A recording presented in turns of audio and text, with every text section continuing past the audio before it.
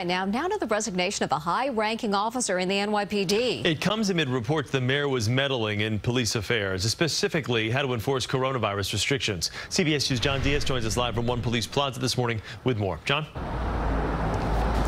Yeah, good morning to both of you. And this morning, the NYPD is down a valued chief. Uh, now, the NYPD is saying that Chief Fausto Pichardo is retiring. However, though, our police sources kind of painting a different picture here, saying that he is resigning because the mayor was trying to micromanage.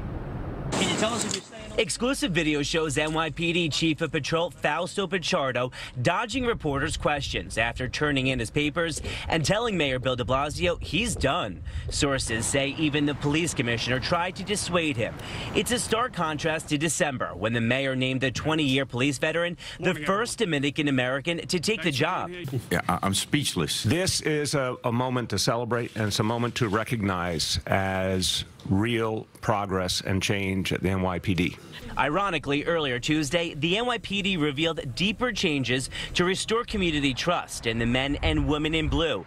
But sources say it appears the mayor didn't trust the chain of command in the NYPD.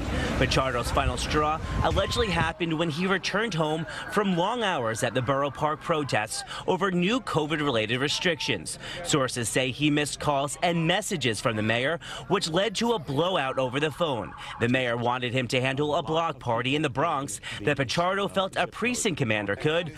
Former NYPD Lieutenant Darren Porcher explains. We have a pecking order in connection with who does what. And when the mayor subsequently picks and chooses or elects who he sees fit to deal with a particular instance, it fractures the chain of command within the NYPD. Tuesday night on CNN, the mayor didn't address the resignation. When asked how enforcement was going to control a surge in coronavirus cases, he said.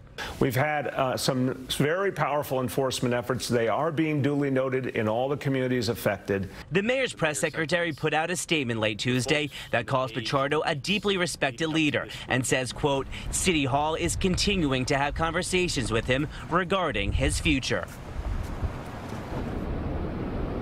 And this comes at a time when police officers have been told to prepare for even more protests ahead of the presidential election, as well as the Supreme Court confirmation hearings. We're live this morning from outside One Police Plaza. John Dias, CBS 2 News. Okay, John, thanks. An update.